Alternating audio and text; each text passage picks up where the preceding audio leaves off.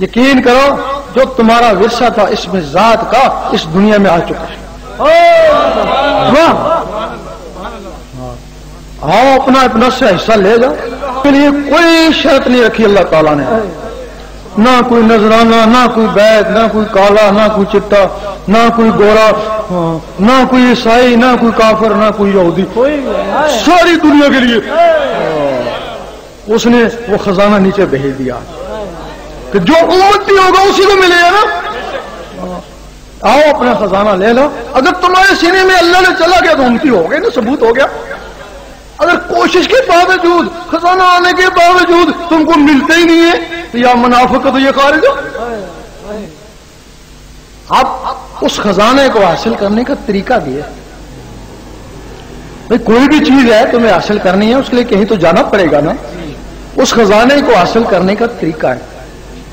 और यकीन करो, वो सिर्फ़ मुसलमानों के लिए नहीं है। उन लोगों में भी कुछ ऐसे हैं जिनको अल्लाह चाहता है।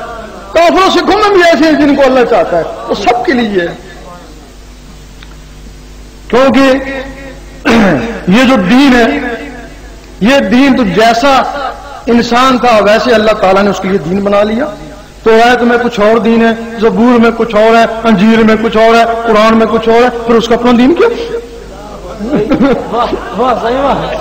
फिर उसका अपना दीन कुछ और होगा ना? वो नूर है, जो नूर हो जाता है, वो उसका हो जाता है। जिस तरह पहाड़ है मैग्नेट के पहाड़ है मगरब की तरफ़। यहाँ है कुतुबनवा वो जिस शहर में भी ले जाओ, उसका रुख उत्तरी होगा, मगरब की तरफ़ होगा। उससे निस्बत है ना? अगर तुम्हारे दिल में नूर आ गया तो फिर तुम जिस फिरके में हो, जिस मज़हब में हो तुम्हारा रुख अल्लाह की तरफ़ होगा तो फिर जिद अल्लाह तुम तो खुद खुद ही तुम्हें मोह लेगा। ना अब उसका तरीका क्या है? रोज़ाना छियासठ मरतबा, सफ़ेद कागज़ पर काली पेंसिल से अल्लाह लिखा।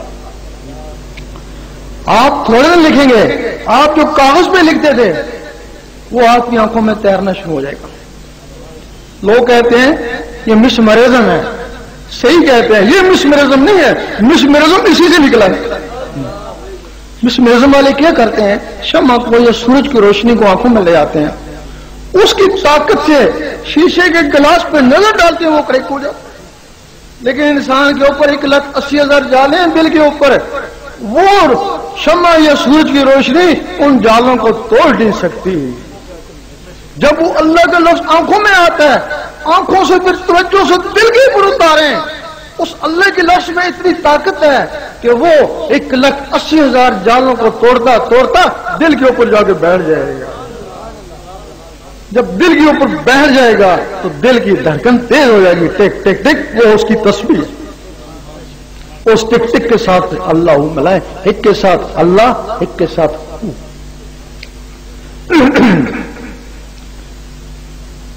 रात को सोने लगे। उंगली को कलम ख्याल करें। दिल पे अल्लाह लिखते लिखते सो जाए, इसी में नींद आ जाए। यकीन करो, बहुत से लोग हैं, इस जमाने में भी है, यहाँ भी मौजूद हैं जिनके दिलों पे अल्लाह लिखा नज़र आता है।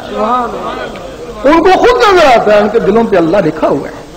जब अल्लाह लिखा जाए तो फिर यकीन करो तो बेखौफ हो जाना। बड़ी शान शौकों से कब्र में चले जाना। फरिश्ते आएँगे, सबसे पहले पूछेंगे, बता तेरा रब कौन है? पूछेंगे, तेरा रब कौन है? खामोश हो जाना, सताना उनको।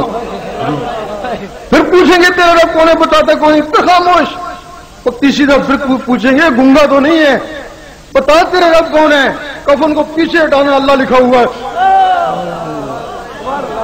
ज़रूरत नहीं पड़ेगी को दूसरे सवाल तुमसे पूछे, कहेंगे, सलाम हम जा रहे हैं, तू जानो, तेरा रब जानो।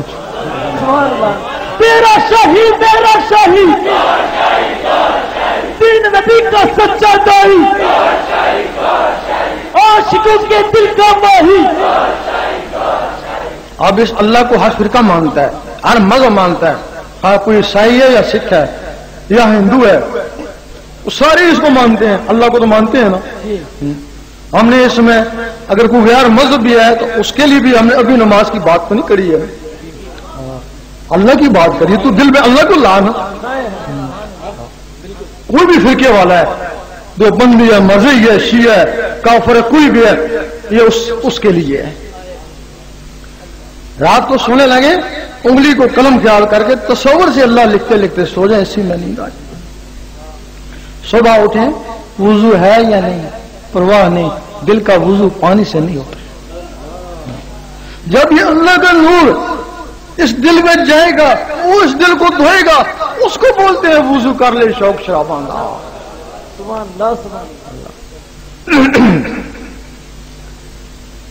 जिस दिन ज़िक्र खफी करते हैं ज़िक्र खफी इबादत है, मंजिल नहीं है। जिस दिन तुम्हारी दिल की धड़कनों ने अल्लाह करना शुरू कर दिया, वो तुम्हारा तरीकत में पहला कदम है। ये जो कहते हैं शरीयत और तरीकत और हकीकत और मार्फत, वो हमारे उलमा कहते हैं ये सब शरीयत में नहीं। शरीयत का तलक किस जबान से है? वो तरीकत, जब दिल बोल को अल्लाह अल्लाह में तो ये तरीकत है ना। तो जब अल्लाह अल्लाह से पहुँच गया, अल्लाह तक तो वो हकीकत है ना। हकीकत का तलक इन आँखों से है। तो फिर अल्लाह ताला जब उसको नमाज़ देता है तो वो मार्फत है ना। मार्फत फिर उसको बोलते हैं ना। तो तुम कैसे कहते हो कि सब कुछ शरीयत में? अगर ज़िक्र से गर्मी महसूस हो तो द्रूशी पड़े वो इसको ठंडा कर देगा। फिर देखें कि ज़िक्र से गुस्सा आ रहा है या ख्याल आ रहा है, घर बार छोड़ो, फिर द्रूशी पड़े वो इसको ठंडा कर देगा। ये इसका तरीका है। इसके लिए जो लोग चाहते हैं ज़िक्र लेना, भले कहीं से बैठते हैं या नहीं, हमें से मकसद नहीं है। ज़िक्र लें और अपनी किस्मत आजमाएँ। अगर तो अल्लाह ने शुरू हो गया तो दुआ दे देना। अगर अल्लाह शुरू ना हुआ तो जो दो चार दिन अल्लाह करोगे, उसका स्वाब तो मिल जाएगा ना। इसके लिए बता दें कि जो लोग ज़िक्र लेने वाले हैं, ज़िक्र लें और किस्मत आजमाएँ। जो भी सामाइन ज़िक्र कल किबला सरकार शाह से लेना चाहते हैं एक एक करके इस साइड से चाहते हैं वो सरकार शाह की जियारत करते हुए सरकार शाह के सामने से गुजरते हुए अल्लाह पढ़ते हुए गुजर जाए ज़िक्र कल का इस दिन हासिल हो जाएगा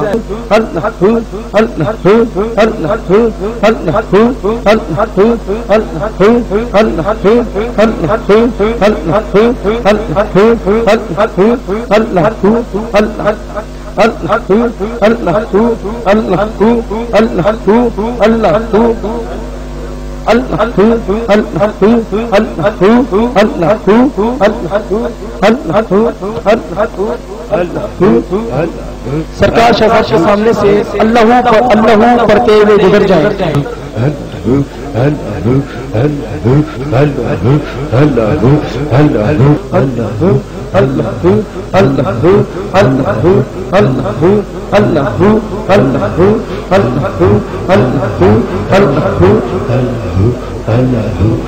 शाह साहब की जियारत करते हुए, अल्लाह अल्लाह पढ़ते हुए, शाह साहब के सामने से गुजरे।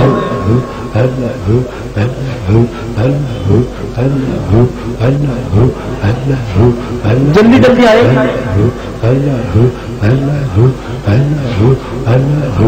जो भी साथी ज़िक्र कल का हासिल करना चाहते हैं, जल्दी आ जाए।